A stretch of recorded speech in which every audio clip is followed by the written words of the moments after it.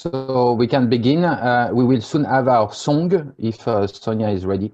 In the name of the Father and of the Son and of the Holy Spirit.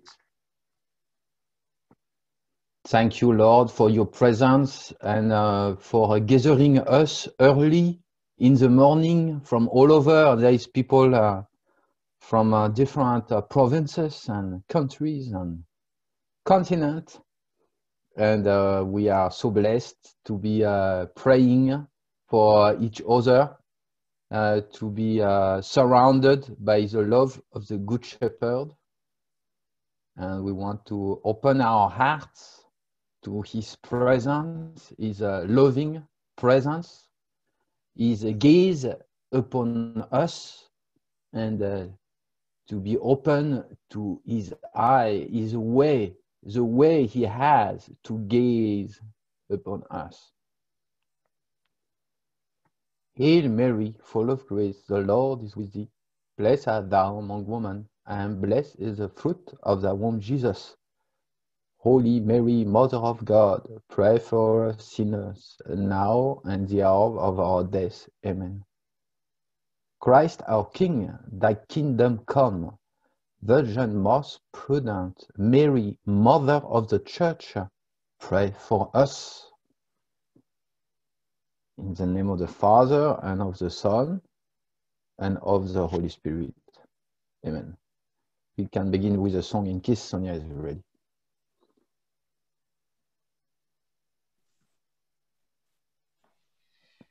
Give us one minute.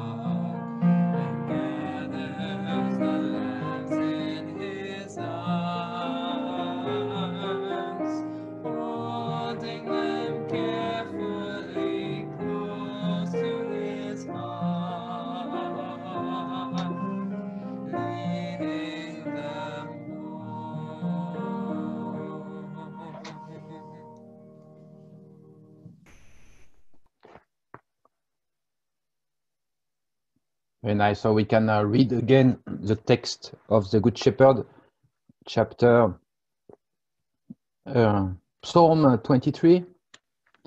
I hope uh, this morning uh, you had uh, your coffee or something, and, and that now uh, you are disposed to um, receive the word of the Lord. So, the Lord is my shepherd there is nothing I lack. In green pastures, he makes me lie down to still waters. He leads me. He restores my soul. He guides me along right path for the sake of his name. Even though I walk through the valley of the shadow of death, I will fear no evil, for you are with me. Your rod and your staff, comfort me. You set a table before me in front of my enemies. You anoint my head with oil. My cup overflows. Indeed, goodness and mercy will pursue me all the days of my life. I will dwell in the house of the Lord for endless days. Probably at this point,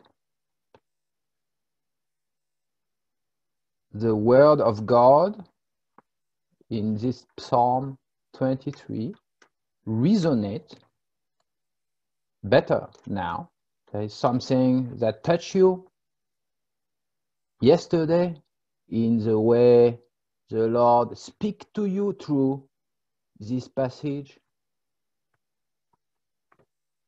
As I was uh, praying and thinking about it uh, after I left you,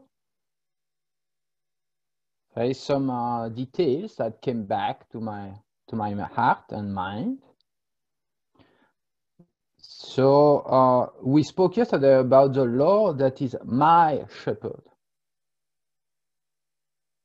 And uh, among the uh, different ways I had to prepare this retreat, I um, uh, I saw um, a document about this like an actual shepherd in Italy and uh, he was sharing how uh, when he has a fear or uh, a preoccupation, uh, a concern, the the sheep they feel it, and so uh, they can know by the smell and uh, whatever is coming from the shepherd, they kind of detect it and they behave uh, in a way that is related to that. And so it speaks about a special connection between uh, you and Jesus. And so what you feel is not indifferent to him. What he feels is not indifferent to you. And you know how when um, uh, probably it happened to me because there's a lot of things I think I suppose it happened also to you. There's a lot of things that I am not sensitive to. I don't uh, I don't detect. I don't uh, realize um, by myself. But I will see somebody else reacting, and then I will feel what the other or the other person feel, and then actually I will. Uh, uh, it will enter in my awareness through somebody else. And so when you have that connection uh, that is growing with a loved one, uh, because you know the person, and in our case with Jesus, it's very interesting because there is a whole uh, opening of emotions and, and um, connection with reality that escaped to us before, but like it open an whole horizon uh, of the person.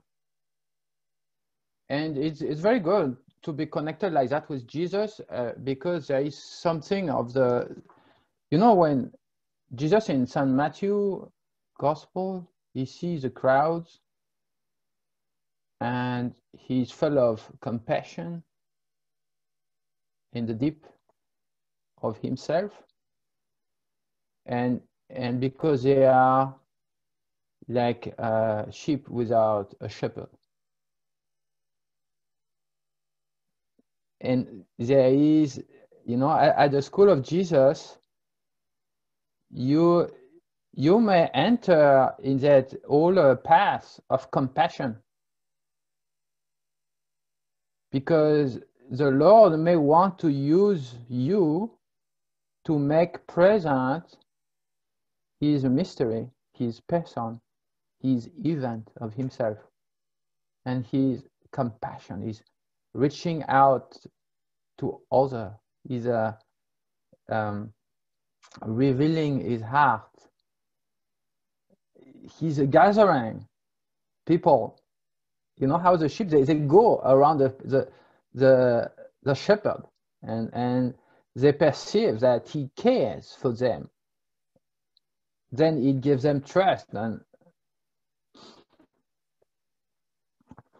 then uh, another um, thought that came to me is about the still waters. What is my still water?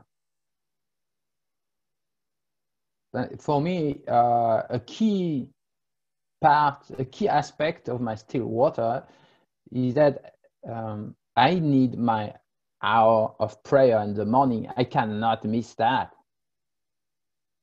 My like when I you know I close my door in my room and then uh, it's just with the Lord and uh, it's an essential. So I, um, so it's good to be attentive each one to what it is. It, it won't be the same. Like not all mom can have that hour. You know, sometimes it's maybe a ten minutes. It, it's that when is that quality time? That still water where the water is not moving, so I can actually drink like a ship like if the water is moving is no way she drinks she, she dies because there is no if you don't drink when there is sun in the desert, in those places that we saw yesterday on our pictures then uh, finally uh, i did a, a I began a small reading of the Note 5 yesterday about uh, a, a, scripture of Madame Guyon, uh, uh, a writing that is called the Spiritual Torrents.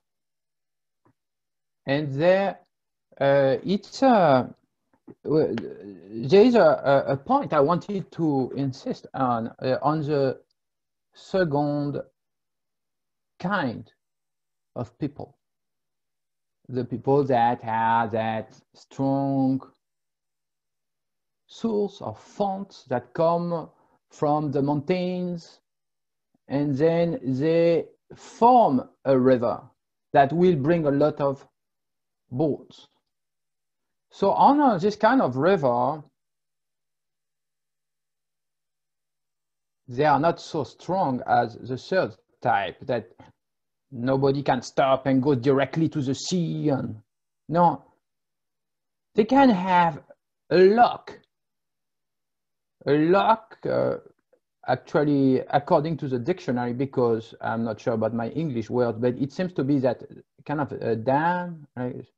that thing that stops the water. So you you can have a lock and there is a risk is that look, if you're on that call,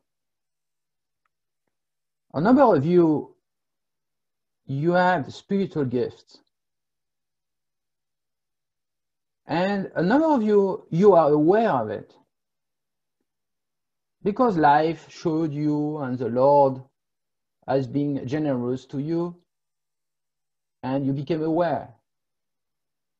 Then that could form a lock uh, where you could be stuck in looking at your gift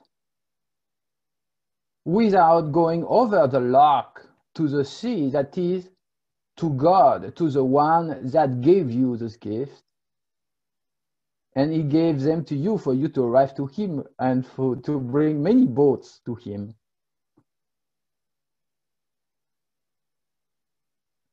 Okay, so now I would like to go uh, to the next uh, slides. Uh, I mean, I'm speaking about uh, uh, a picture that is coming up there. Exactly.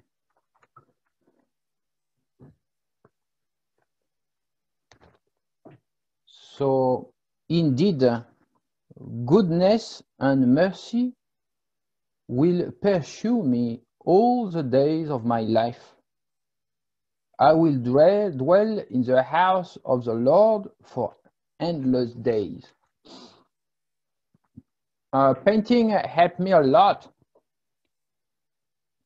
to pray and to uh, open um, my heart to new aspects of the mystery. In the States, uh, there was a, uh, for a long period, there was a, for a, a, period, there was a lot of paintings with sheep and shepherds.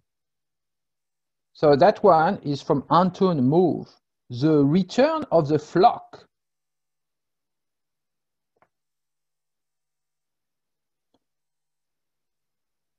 So I uh, I like I so I like the uh, there is something of a tenderness uh, the the small sheeps that are there at the end where you you yeah, it's beautiful at the same time you know there may be danger because they are a little bit behind the flock and the the shepherd doesn't seem to be looking at them. And also uh, that sense of to be together appears a lot in that picture. That, that trust in the shepherd that we can see at the end of the picture. And uh, they seem to know their path also, as if it was something habitual, that path where they go to return and uh, so it helped me to uh, to enter in that meditation because our passage uh, indeed goodness and mercy will pursue me all the days of my life. Uh, there is that sense of um, uh, the word in the word pursue pursue. There is that sense of a special presence. So in the context of a shepherd, according to the commentaries, it speaks about uh, when, when you uh, return home after uh, it may be a long time out. Um, it's the end of the day, the sun is coming down, and then frequently even the shepherd will, will walk behind or you will have somebody else walk, be walking behind because it is a time when uh, you may feel uh, a bad presence, a danger. You know, when you return home late and then you feel there's something.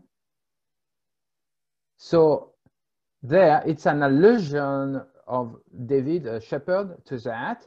But now speaking of the Lord, it's his goodness and his mercy, that presence that is near now. And then to be touched by that, by that kind of presence that is pursuing me. As, as soon as you enter in that spirit of uh, delight for the gift of the Lord, uh, of recognizing how he fulfill what you lack. How did you fulfill today what I'm lacking, my Lord? You know, asking the good questions, like, like you have been doing uh, uh, with your questionnaires and a little bit of your answers, and then uh, you see how he's uh, pursuing you to pursue. It, it makes think about the Song of Songs, where the beloved uh, is uh, um, per, where there is that pursuing of love.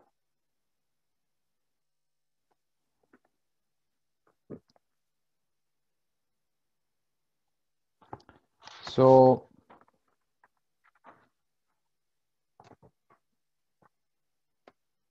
So uh, there is that insistence on uh, the goodness. The goodness uh, come by opposition to the evil of uh, the previous paragraph. So remember, um, of uh, that uh, there is no fear of any evil. In the previous paragraph, we can see, we can see, I will fear no evil. So that actual goodness of this verse uh, number six is a, a, direct opposition to that other evil, and it brings us back to Genesis, you know, when everything what what was created was good, and it was good, and it was good. And so you see a kind of, of like a redemption. You know, you had the creation, the the my shepherd, that relationship. Then you have the experience of evil and uh, that presence of the Lord that bring me to goodness. So there is something that is reestablished when you enter in that relationship with a shepherd, and it's, it's not that you uh, uh, arrive to uh, perfection by yourself, but you put your heart on it. You uh, as uh, you don't deny anything to the shepherd, and then uh, even your fault become an experience of His mercy and you let him lead you to green pastures and, and still water and and then uh, his goodness and his mercy pursue you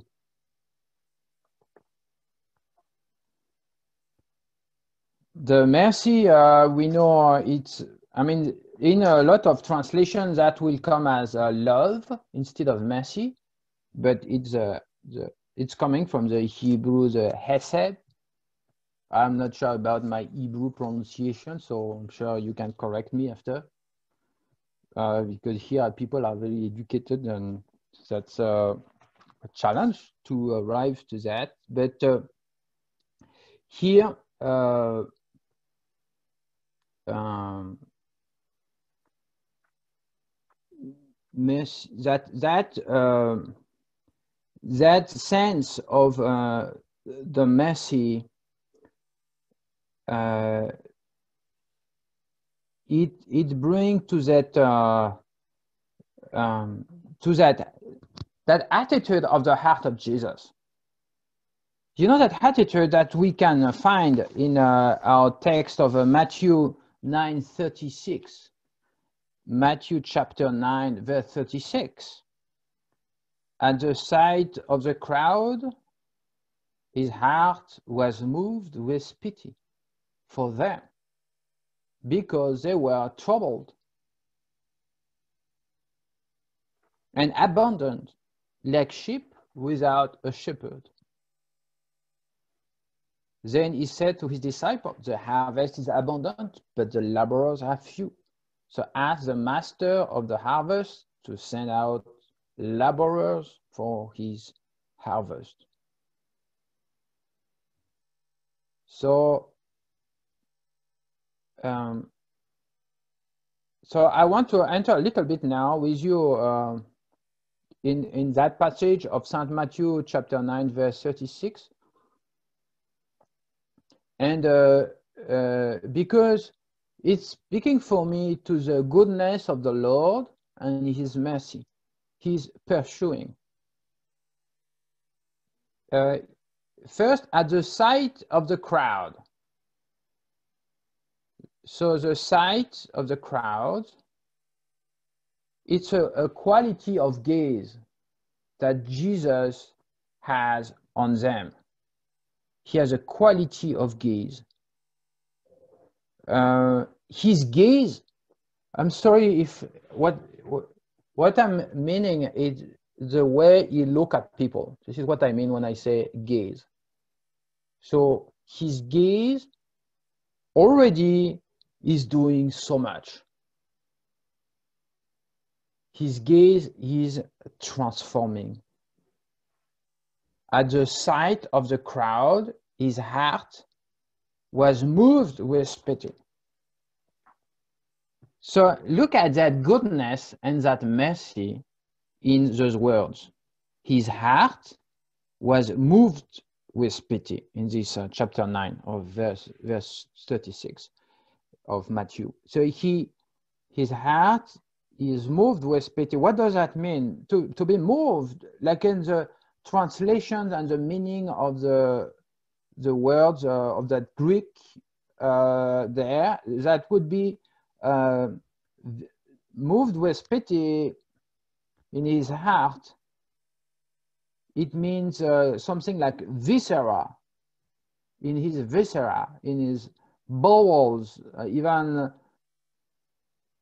a large translation would go to uh, in womb that um, so the it, well the emotion is registered deeply you know when it, it arrives to the abdomen it's kind of an authentic emotion?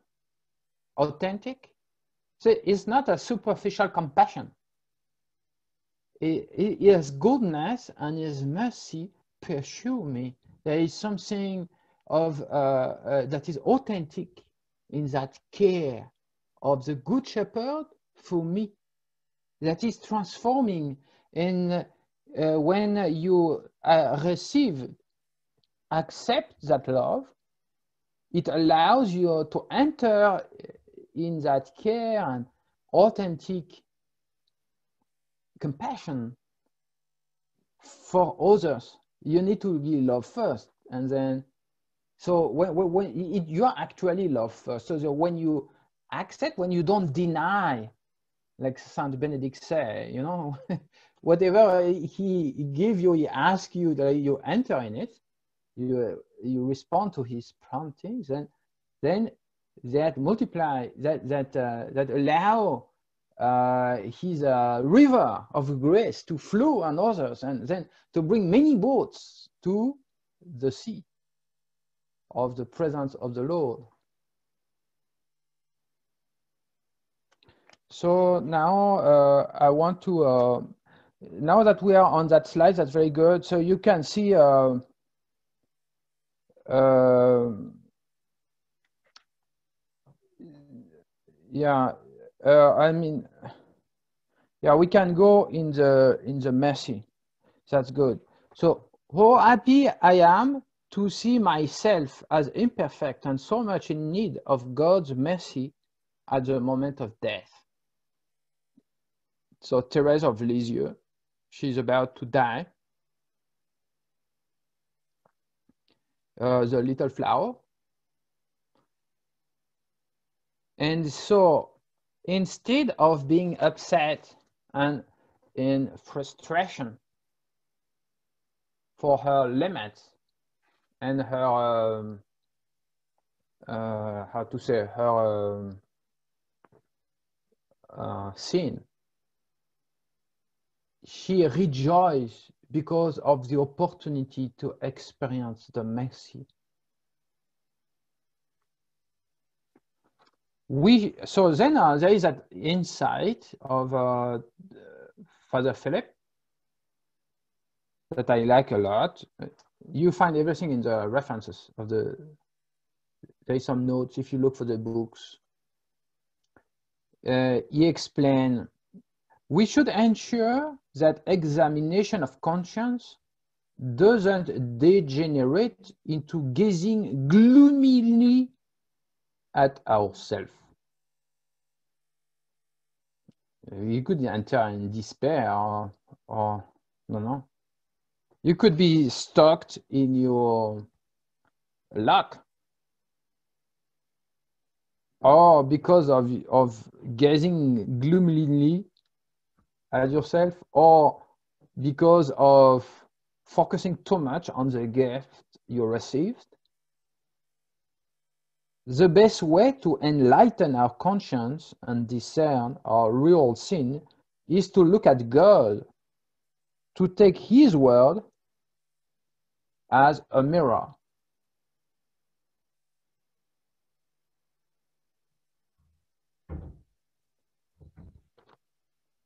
So there you have that uh, that phrase of Therese of Lisieux about uh, the prodigal son.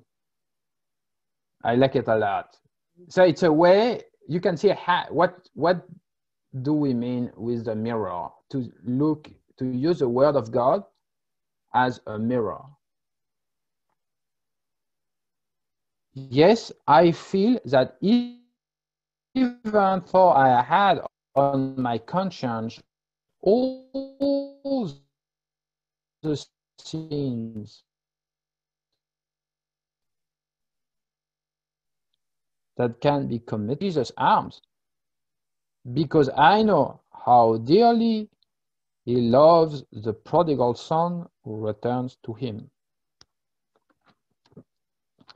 So next slide, um, or you have it on your handout also.